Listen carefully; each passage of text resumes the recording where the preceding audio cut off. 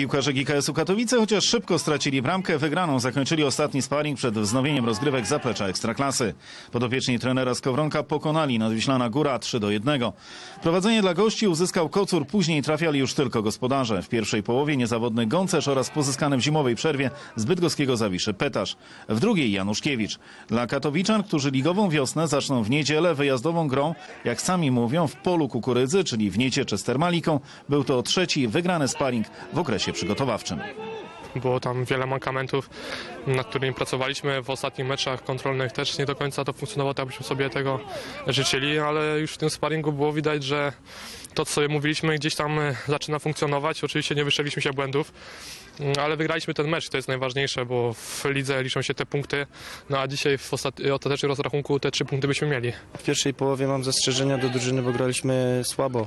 Daliśmy się zdominować i tutaj GKS na pewno postawił, postawił nam takie warunki, jakie, na jakie się spodziewaliśmy, czyli drużyny pierwszoligowej, która aspiruje, aspiruje do ekstraklasy i, i na pewno organizacja gry była słaba. W drugiej połowie graliśmy trochę lepiej, ale, ale, ale na, pewno, na pewno GKS no, grał, grał dużo lepiej od nas. Po naszej stuprocentowej sytuacji poszła kontra, na 3-1 było już po meczu, po sparingu, znaczy po sparingu, po wyniku sparingowym.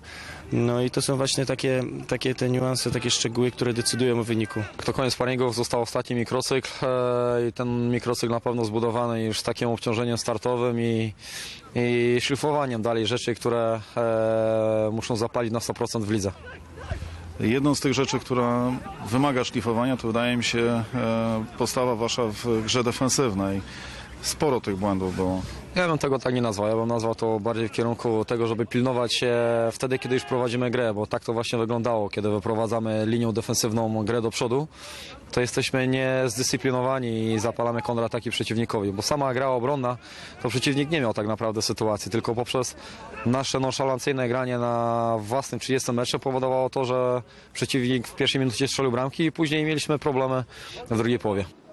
Obok wspomnianego na wstępie Petasza w zespole GKS-u z nowych twarzy w meczu z Termaliką mają szansę pokazać się wypożyczone z Pogoni, ostatnio grający w Kluczborku bramkarz Rudnicki, znany trenerowi Skowronkowi z czasów wspólnej pracy w Widzewie stoper Lejmonas oraz Frańczek z Sandecji Nowy Sącz.